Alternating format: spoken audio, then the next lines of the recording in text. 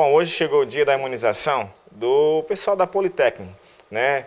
A gente vai conversar com a Deildo Fress, que também veio aqui acompanhar e que vai falar um pouco dessa, dessa emoção, na verdade, porque essa vacinação, essa imunização é a esperança de todo mundo. Né? Adeildo, hoje chegou a vez né, de vocês, enfim, era o que era esperado é, por cada um de vocês, porque é um, uma esperança a mais contra a Covid-19.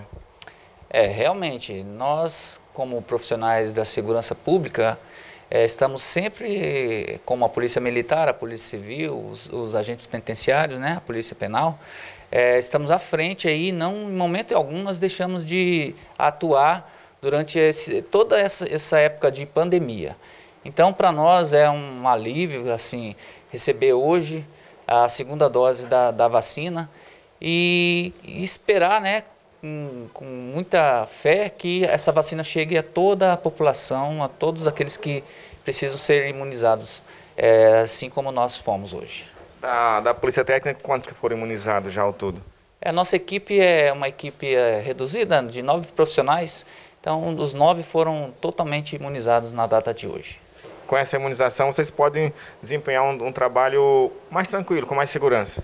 Ah, com certeza, né? A gente fica mais é, leve, nós, nós ficamos mais é, à vontade. Então, é, com certeza nós vamos desempenhar nossas atribuições de uma maneira mais efetiva e com mais tranquilidade.